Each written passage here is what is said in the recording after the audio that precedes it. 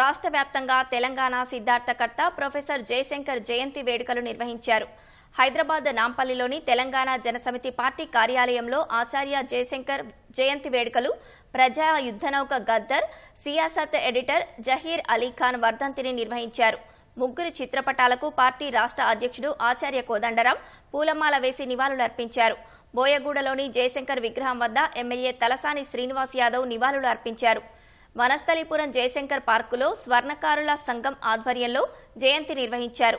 తెలంగాణ ఉద్యమ భావజాల వ్యాప్తికి జయశంకర్ సార్ చేసిన కృషి అనిర్వచనీయమని బీఆర్ఎస్ కార్యనిర్వాహక అధ్యక్షుడు కేటీఆర్ ఎక్స్లో పోస్ట్ చేశారు.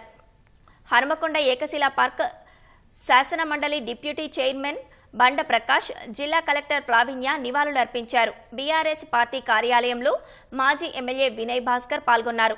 కరీంనగర్లో మాజీ ఎంపీ వినోద్ కుమార్ మేయర్ సునీల్ రావు జయశంకర్ విగ్రహానికి పూలమాల వేసి నివాళులర్పించారు. జగిత్యాల జిల్లా మెట్పల్లిలో కొత్త బస్టాండ్ వద్ద ఏర్పాటు చేసిన విగ్రహాన్ని కోరుట్ల ఎమ్మెల్యే కల్వకుంట్ల సంజయ్ ఆవిష్కరించారు.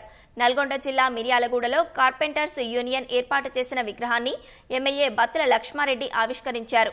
మాజీ ఎమ్మెల్యే నల్లమోతు భాస్కరరావు నివాళులర్పించారు. ఆదిలాబాద్లో ఎమ్మెల్యే పాయల్ శంకర్ కాంగ్రెస్ నేత కంది శ్రీనివాసరెడ్డిలు జయశంకర్ చేసిన సేవలను స్మరించుకున్నారు.